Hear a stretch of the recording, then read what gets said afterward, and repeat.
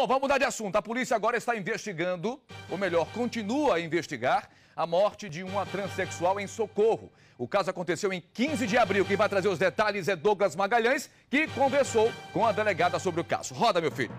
DHPP elucida o crime é, que vitimou a Milane, a transexual Milane, que foi encontrada dentro de casa em Nossa Senhora do Socorro, sem vida. E então o núcleo, é, coordenado pela doutora Maria Zunária, do DHPP, iniciou as investigações. E hoje ela reuniu a imprensa para falar que o crime foi desvendado. Logo que o corpo foi encontrado 15 de abril, é, a, é, o, o suspeito foi é, ouvido aqui na delegacia na segunda-feira e apresentou a versão que não convenceu. Suspeito companheiro da Milani. Exatamente, o Marcos Paulo.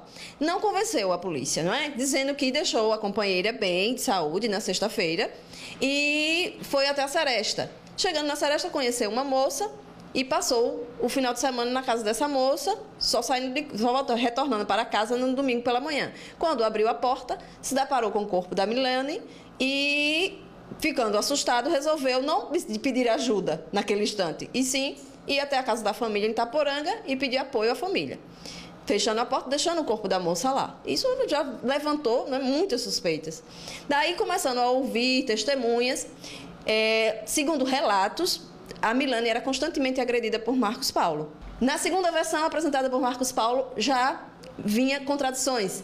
Ele mentia, ele, ele negava né, fatos que havia dito nas primeiras versões apresentadas. Com as versões né, é, é, se, apresentadas por Marcos Paulo, o próprio Marcos Paulo resolveu confessar que havia mentido todas as vezes que foram, foi ouvido aqui na delegacia, dizendo que realmente chegou em casa na noite de sexta-feira, não encontrando a companheira, a Milane, foi até Seresta e voltou com a Milane para casa, discutindo, porque não gostou de encontrá-la não encontrá-la em casa, e sim numa seresta, desferiu um empurrão contra a mesma.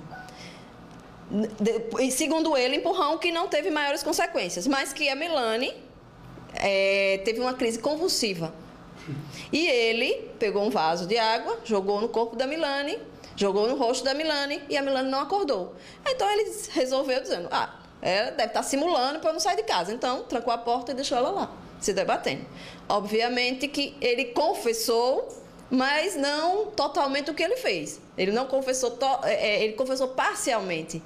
Ele ainda assim não assumiu a total responsabilidade. Por quê?